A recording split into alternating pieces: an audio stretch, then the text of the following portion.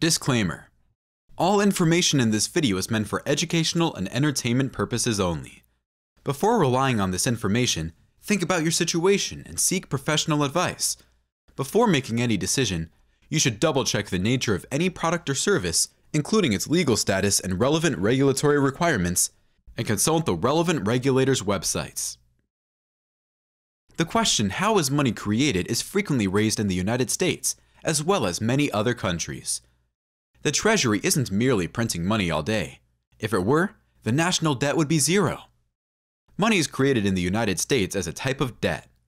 Banks make loans to individuals and corporations, who then deposit the funds in their bank accounts. Banks can then use these deposits to lend money to others. The total amount of money in circulation is one indicator of the money supply. Hey guys, welcome to another exciting video. In today's video, we'll be talking about money and how it is created. So if you're interested in finding out how money is created, then stay tuned and watch this video to the end. But before we continue, kindly like this video, subscribe to the channel, and hit the bell icon to stay notified of more interesting videos just like this one. With that done, let's get right into the video. The creation of money is viewed by some people as the biggest fraud in human history, while for others, it is a benefit and the engine of the economy. It was a procedure that, in the words of John Maynard Keynes, engages all the hidden forces of economic law on the side of destruction, and does it in a manner which not one man in a million can diagnose. Let's look at the case of the US dollar creation, as it is a global reserve currency. Many people don't realize that any dollar spent by the government sooner or later one way or another, will be taken from the taxpayers' pockets. The government can finance new spending in several ways. Raising taxes is one approach, although it is controversial. Another option is to restrict spending in some areas, but this may cause discontent or even social unrest among those who are cut off from the money stream. There is, however, another possibility. The government may expand the budget deficit to pay current spending while growing debt. The United States Treasury can issue securities such as government bonds. A bond is simply a pledge to return a particular amount of money plus interest after a certain date. It is considered a debt obligation. Government bonds are auctioned off to financial firms. Issuing bonds does not always result in the production of money. Bonds can be purchased by a private individual using previously accumulated funds. However, some bonds are bought by the Federal Reserve, which is the U.S. central bank through open market operations. The process goes as follows.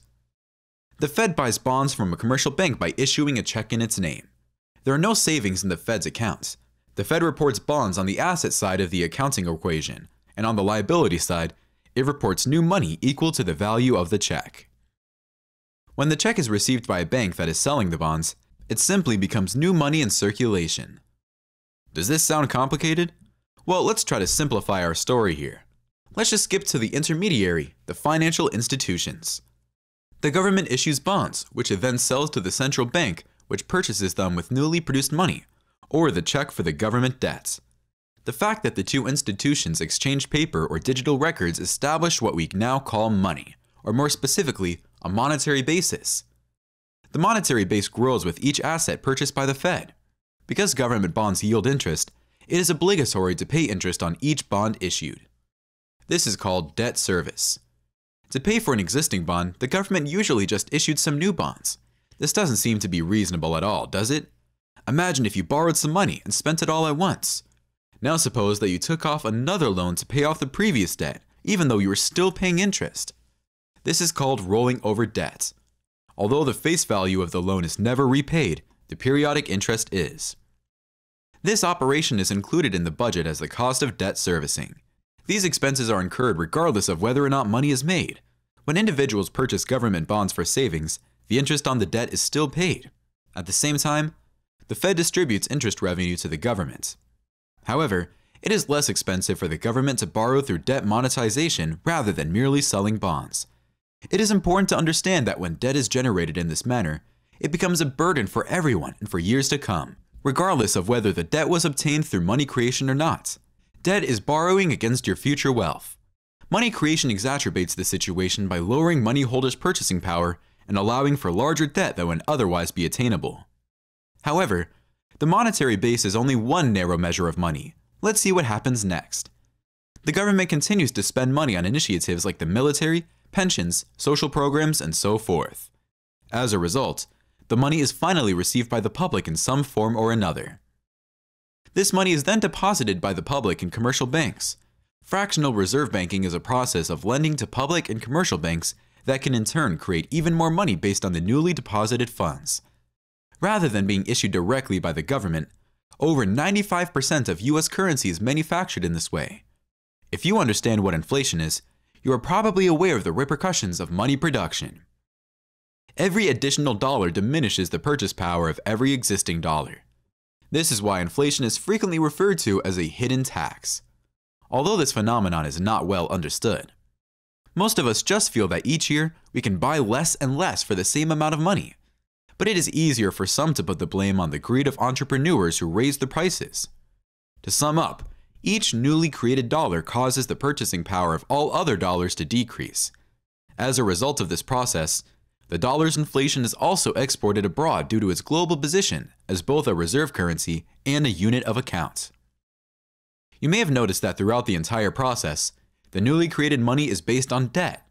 When the Fed increases the monetary base, the public debt also increases, and granting a loan by any of the commercial banks necessitates an act of fiduciary media creation.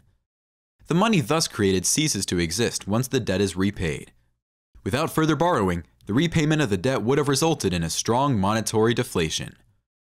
Economics professor Robert Murphy once said, If people in the private sector ever paid off all of their debts, and the federal government paid off all of its bondholders, then the supply of US dollars would be virtually extinguished. Despite this fact, money is not the same as debt. The bonds and loans are perceiving money as debt is rather a popular misconception.